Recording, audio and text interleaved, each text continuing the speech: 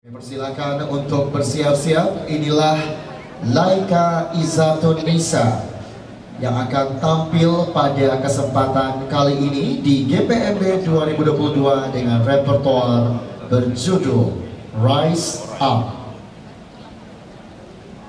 Distinguished guys, ladies and gentlemen, boleh bersama kita sambut penampilan dari Laika Izatun.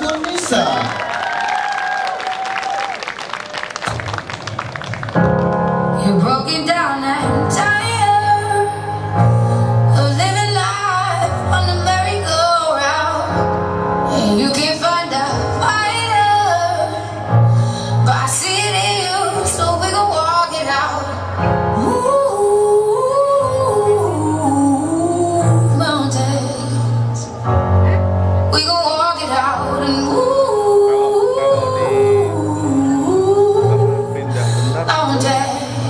Yang